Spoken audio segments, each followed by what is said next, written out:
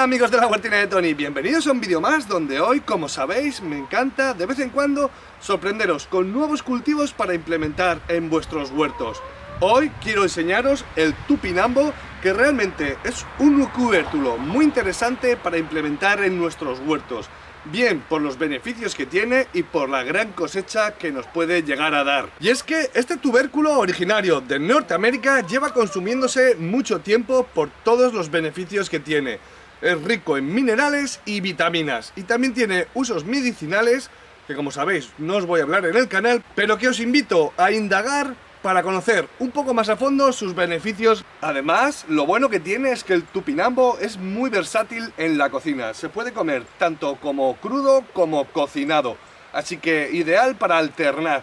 También es conocido con otros nombres como alcachofa de Jerusalén o tupinambur. De hecho, tiene un sabor que recuerda a la alcachofa mezclado con trufa y una textura que tira a la de la zanahoria.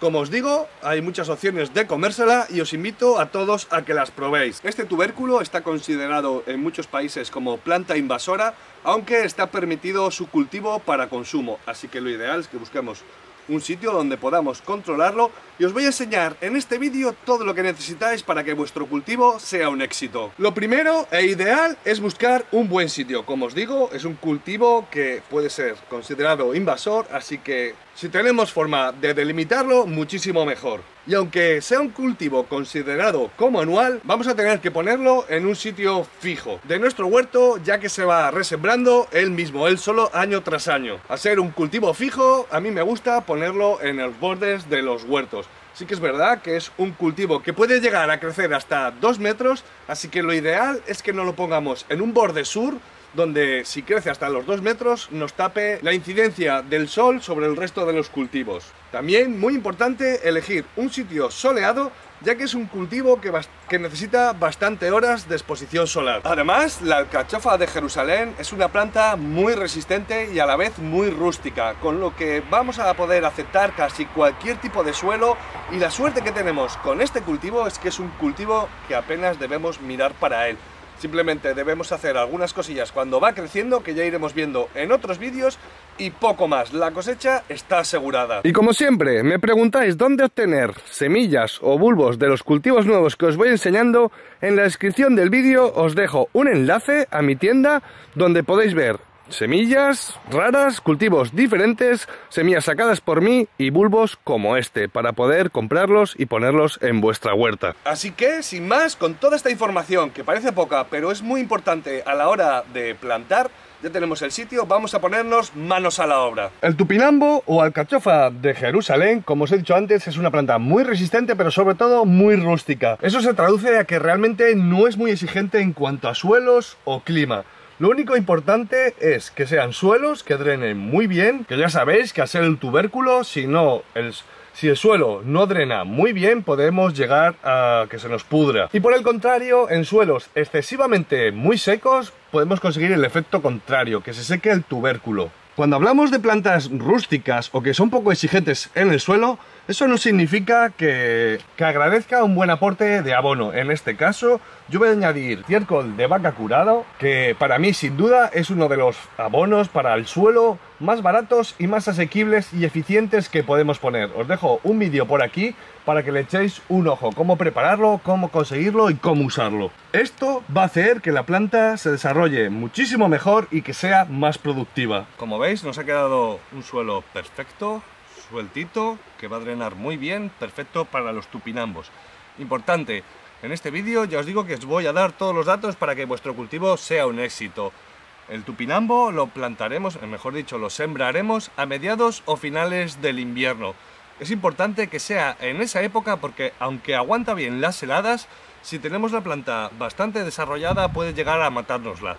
Entonces, según vuestra zona donde viváis, ya tenéis más o menos controladas las épocas de heladas y podréis ponerlo pues eso a mediados o a finales del invierno. Si tenemos pocos tubérculos de tupinambo, siempre podemos dividir el tubérculo para plantar. Este lo he cortado yo antes para enseñaros cómo era, pero he cortado por el medio de un ojo. Estos son los ojos y lo ideal sería que con el corte dejemos al menos tres ojos para que broten los nuevos tupinambos, ¿vale? O sea que si tenemos pocos Pocos tubérculos, no os preocupéis, dejando tres ojos será perfecto para, para, sembrar. Con el suelo listo vamos a preparar un hoyo de unos 15 centímetros, 10-15 centímetros, no mucho más profundo, ¿vale? Ideal, 10-15 centímetros será más que suficiente. Interesante haber hecho la preparación del suelo y aportar ese estiércol para ayudarnos en el cultivo. Si no tenéis estiércol, otra opción sería, como voy a hacer yo ahora, a modo de ejemplo, que sería añadir un puñadito de humus de lombriz en el fondo. ¿Vale? Tapamos un poquito y ya podemos poner nuestro tubérculo. Si queremos plantar más de un tubérculo, vamos a dejar una separación entre plantas de unos 30 centímetros aproximadamente. Y nada, simplemente sería repetir la misma operación, unos 15 centímetros de profundidad, podemos añadir humus de lombriz si no hemos preparado bien el suelo, yo como ya lo tengo preparado, no voy a añadir nada más, y metemos nuestro tubérculo. Y nada, seguimos así, tantas como queramos cultivar. Como os digo, lo ideal para obtener una buena producción es dejar esta separación entre bulbos. A mí me gusta marcarlos, sobre todo si son bulbos y no tengo un bancal sobre ello, para estar atento a ver qué está pasando. Como os digo, que sea un cultivo rústico, eso no quiere decir que si hacemos un buen preparado de suelo y un abonado, no vaya a ser mejor para, esta planta. Simplemente es una planta pues que al ser más rústica, pues tiene menos enfermedades, necesita menos cuidados y es menos exigente.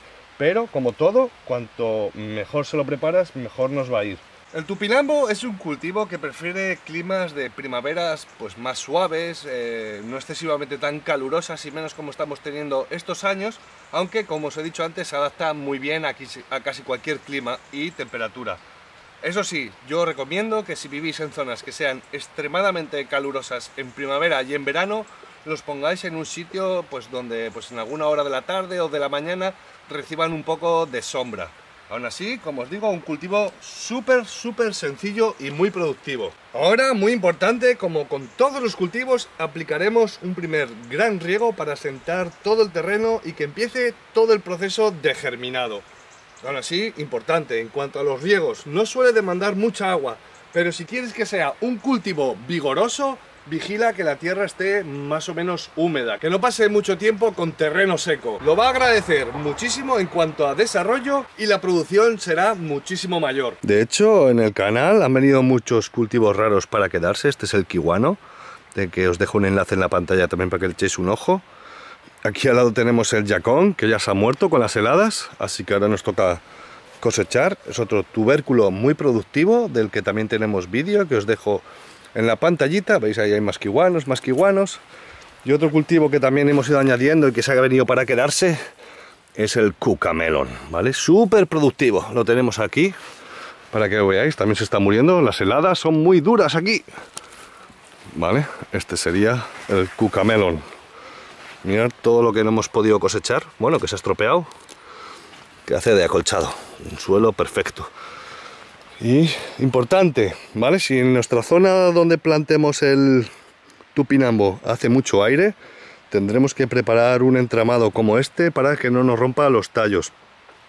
Este yo lo uso para las borrajas, que es un cultivo que se siembra sola todos los años, ahora se ha muerto y en breve empezará a rebrotar. Entonces ya tengo preparado el entramado, simplemente para que el viento no nos tumbe las plantas. De todas formas, os invito a todos a que probéis a cultivarlo en una zona controlada porque es un cultivo súper rústico, muy productivo y además una vez que lo probéis os encantará. Es interesante y aconsejable ponerles un acolchado como por ejemplo restos de ramas trituradas u otras opciones que os dejo por aquí un vídeo de otras opciones que podemos usar para acolchar que nos permite reducir los riegos evitar que nazcan hierbas competidoras y aparte estamos manteniendo la humedad del suelo y aportando materia orgánica. Y con respecto a enfermedades y plagas, como es un cultivo que realmente es tan rústico, eh, se ve afectado por muy pocas plagas y enfermedades. Yo lo llevo cultivando en otra zona del jardín durante años y nunca he tenido muchos problemas. Y más o menos si las temperaturas son adecuadas para el tupinambo, en 15 días empezarán a brotar de la tierra. En siguientes vídeos, en mi canal de la huertina de Tony, haremos vídeos preparando el entramado, viendo cómo crece y se desarrolla, e incluso haremos un vídeo de la cosecha, para que veáis lo productivo que es. El único problema que vamos a tener con el tupinambo es que nos va a ocupar bastante espacio, ya que la cosecha se hace a finales del verano, a principios, mediados del otoño. Así que es un cultivo que nos va a ocupar espacio y tiempo. Así que nada, huertonianos, espero que os haya gustado el vídeo, sobre todo que os haya servido y nos vemos el jueves que viene en el canal de la Huertina de Tony. ¡Hasta luego!